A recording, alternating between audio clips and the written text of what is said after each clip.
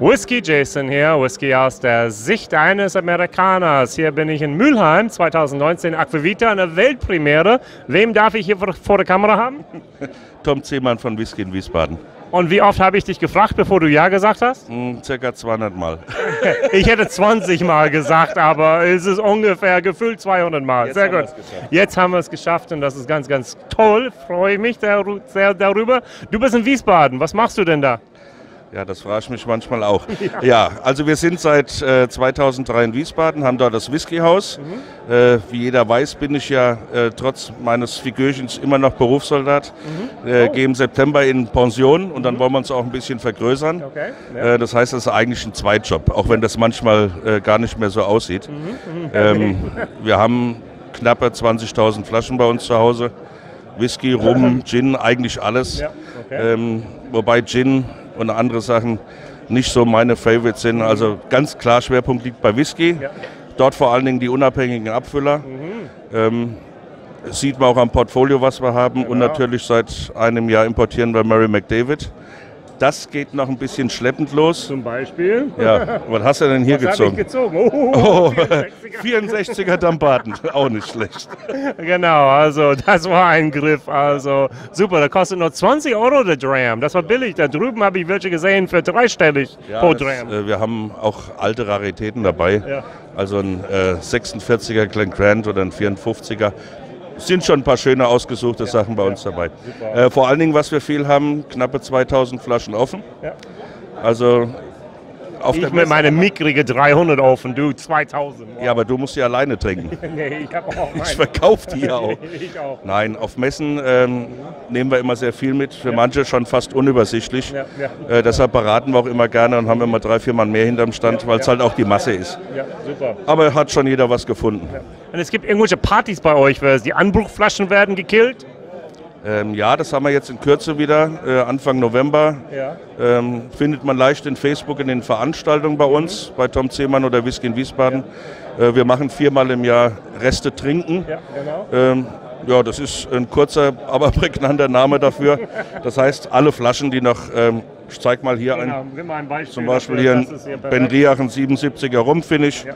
Der wird dann hingestellt und für die Hälfte vom Messepreis ausgeschenkt. Ja. Oder, äh, wenn es mir mal wieder kurz vor Weihnachten ganz danach ist, weil das auch äh, nicht ein Hobby, aber ein Anliegen von uns ist, wir sammeln viel für äh, Kinderhospiz Bernherz. Genau. Und dann geht auch schon mal, weil die Flaschen dann in der Regel auch nach den Messen abgeschrieben sind, äh, der Erlös ans Kinderhospiz Bernherz in Wiesbaden. Super. Machen wir gerne. Das ist sehr schön. Jason, wir müssen einen trinken. Ja, du hast ge- genau, es gab einen Deal. Wenn ich hier mit dir ein Video drehe, muss ich etwas hier im Glas haben, den ich nicht so gerne habe. Und das ist nämlich Brimstone vom Balcones. Also eine der fürchterlichsten, ähm, doch das schlimmste Texas Whisky, den ich jemals bisher im Glas hatte. Und ich liebe Texas, nein, ich, liebe, Brimstone. ich mag gerne Whisky, genau. Brimstone heißt dann da Fegefeuer und Schwef Schwefelstein heißt das eigentlich. Also, So riecht er auch ein bisschen. Genau. Also, Also, Balcons Ja. oder Balconies, ähm, es gibt zwei verschiedene Aussprachen, ist aber egal. Ähm, hätte ich auch gern importiert. Okay. Die vergrößern sich gerade auf dem deutschen Markt. Äh, habe jetzt äh, aber festgestellt, dass es auch auf dem deutschen Markt schon gibt. Mhm. Also wer den Balcons mal probieren möchte, äh, Blue Corn Texas Whisky, Ja. tolles Zeug in meinen Augen. Ja. Ähm, bei Kirsch bestellen, Ja, beim Christoph genau. Kirsch, der führt den mittlerweile. super. Iron Root wäre mein Tipp, den du ein, äh, importieren solltest. Ich glaube, ich habe noch keinen deutschen Importeur. Da gibt es, glaube ich, andere für. Das, Okay. Da sind wir noch zu klein für. Ja. Ähm, mit Mary McDavid haben wir genug Arbeit. Okay, super, super. Slanche war auf Englisch, dann Cheers. Wow. Ja, das ist Oh, ich habe vergessen, wie schrecklich, schrecklich der ist. Kfz-Werkstatt pur.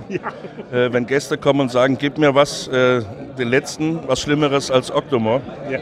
hole ich immer den Brimstone raus. ähm, erzähle dann auch gerne die Geschichte mit dem Mexikaner, der mit dem LKW vorfährt. Und, äh, Die Geschichte kenne ich noch nicht. Erzähl sie ja, mal. nein, erzähle ich jetzt nicht. Das ist, glaube ich, in der Jugendfrei schon, aber gehört sich nicht. Okay. Nein, weil das ist ein nachträglich gerauchter Whisky. Genau, die nehmen dann dort tatsächlich Holz und machen Rauch und blubbern das durch den Whisky hindurch und dadurch kriegt er seinen Geschmack. Also der, Ich hoffe, dass es so ist. vielleicht, wer weiß, vielleicht gibt es auch ein bisschen Methan, menschlich gemacht. Toll. Das Problem dabei ist immer, ähm, man muss drei Euro eigentlich mehr oder weniger den Leuten abnehmen, den Gästen hier auf Ja. der Messe für so ein Ram, Okay. weil das Glas kannst du danach wegschmeißen. Das kriegst du auch durch Spülen nicht mehr sauber. Ja, das stimmt, das stimmt. Das, diesen Geruch bleibt ist penetrant und das ist, das ist schlimmer als Dreifaltigkeit hoch 9. Also das ist Senden. Freundlichkeit ist aber auch lecker. Ja, genau, denke ich, aber für mich war das schlimmer. Das ist wirklich dreimal schlimmer. Nimm mal Dreifaltigkeiten, tu sie in den Kühlschrank. Okay. Probier sie mal eisgekühlt. Okay. Hört sich jetzt total kurios an, aber okay, aber- kann man auch mal Ja, probieren. Ja, ja, also ein bisschen, kann gut sein. Sehr, sehr schön. Super, Tom. Ich bedanke mich. Wo findet man euch? Online wie auch im richtigen Leben? Gib mir eine Adresse wie auch www. Ja, also wir haben, äh, habe ich eben schon angefangen, den, äh, das Whiskyhaus in Wiesbaden über drei Etagen. Das Problem ist halt, da wir, außer meiner Frau, die habe ich jetzt angestellt, äh, oder ich bin zumindest noch berufstätig, bin immer erst abends um 17 Uhr zu Hause, aber dann bis 21 Uhr ist das Whiskyhaus in der Regel auf. Ja, ja. Adresse? Äh, Das ist in Wiesbaden-Nordenstadt, Ja. direkt beim Ikea, falls es einer kennt, verkehrsgünstig an der Autobahn gelegen. Äh, Wir haben immer auf, außer montags, weil montags ist bei uns das meiste, was das Versandgeschäft angeht. Das machen wir auch noch Ja. nebenbei. Äh, Im Moment eBay, Facebook viel, muss man schon sagen. Ja.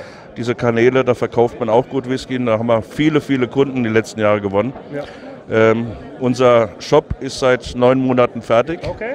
Ja. Äh, wer mich kennt und weiß, wie schnell ich bei so Sachen arbeite, der wundert sich nicht, dass das vielleicht noch drei Monate dauert, bis der tatsächlich online geht. Ah, Ähm, es dauert unheimlich Zeit äh, zu befüllen und wir haben so eine riesen Auswahl. Äh, wir haben jetzt zum Beispiel noch einen eingestellt. Jetzt ist er da ja. Vor dem Tresen Ja. und er hält sich dort mit Gästen. Ähm, ist alleine nicht mehr zu schaffen. Also wir werden schon ein bisschen größer. Nächstes Jahr im September gehe ich in Pension. Mhm. Dann läuft das mit Sicherheit alles. Äh, dann werden wir auch unsere, unseren zweiten Messeanlauf in Wiesbaden nochmal starten. Gut, gut. Den haben wir jetzt im Mai ausfallen lassen, weil es ist einfach personell, auch mit den Helfern, du kannst das alleine nicht stemmen. Nicht möglich. Wir hatten das 2018, die erste Messe im Oktober. Äh, da nochmal sorry an die Rüsselsheimer und die Hofheimer nach uns. Es war der einzige Termin, der frei war in einem Jahr, auf zwei Jahre in Wiesbaden. Das ist kurios. Äh, wir haben jetzt die Termine in den Mai gelegt, sind dann knapp vier, fünf Wochen nach der Limburger Messe und dann ist allen geholfen, tut man keinem weh. super. Das passt. Gut, gut, gut. Internetadresse www. whiskyinwiesbaden.de. Okay, ein Wort. Mit oder ohne Bindestriche. Ah, ja. Man findet es auch jetzt schon, wenn man es äh, googelt. Ja. Ähm, der Shop steht schon, wird als geschlossen angezeigt, Genau. weil Aber- ich brauche noch ein bisschen. Super. Bis das auch gestrahlt wird, vielleicht. Irgendwann nach Weihnachten ist das vielleicht soweit, ja? Wer weiß. Weihnachten 2020, ja?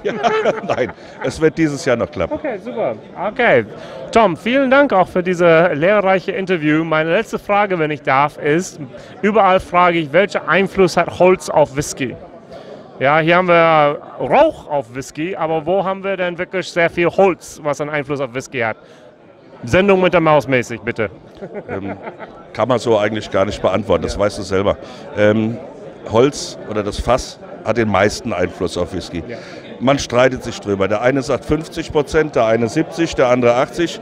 Ich sage 90 Prozent, äh, weil ich nicht glaube, dass zum Beispiel, ähm, wie es andere publizieren, das Wasser alleine schon 10 Prozent Einfluss auf den Whisky hat. Nein, hat es nicht.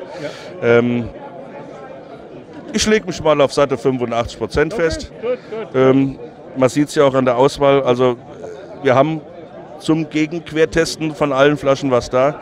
Und äh, man kann schon schön probieren, welchen Einfluss Holz auch auf verschiedene Fassgrößen und natürlich dann auch Alters- und Reifestufen hat. Ähm, ja. Wir werden es dieses Jahr und im ganzen Leben nicht mehr schaffen, das alles zu probieren. Habe ich gemerkt irgendwie, genau. Ich habe ein Video jeden Tag und ich komme nicht hinterher mit der Fülle von Whisky. Und du hast wie viele Flaschen zu Hause? Also 20.000 haben wir gesamt. Genau. Da sind natürlich auch äh, Kisten oder äh, Ware dabei. Ich wollte nur die Menge sagen. Also ich gehe mal von 6.000 verschiedenen Whiskys aus. Davon ca. 2.000 offen. Die haben wir schon. Ja, super. Und das heißt dann für mich jeden Tag ein Whisky 20 Jahre lang. Und ich wäre immer noch nicht ganz mit euch fertig. Das ist schon krass. Also, Auch nicht. Ich schaff's auch nicht. Nein. super. Whisky Jason, ja, Whisky aus der Sicht eines Amerikaners gemeinsam mit Tom Zimmern, danke euch. Ciao. Tschüss.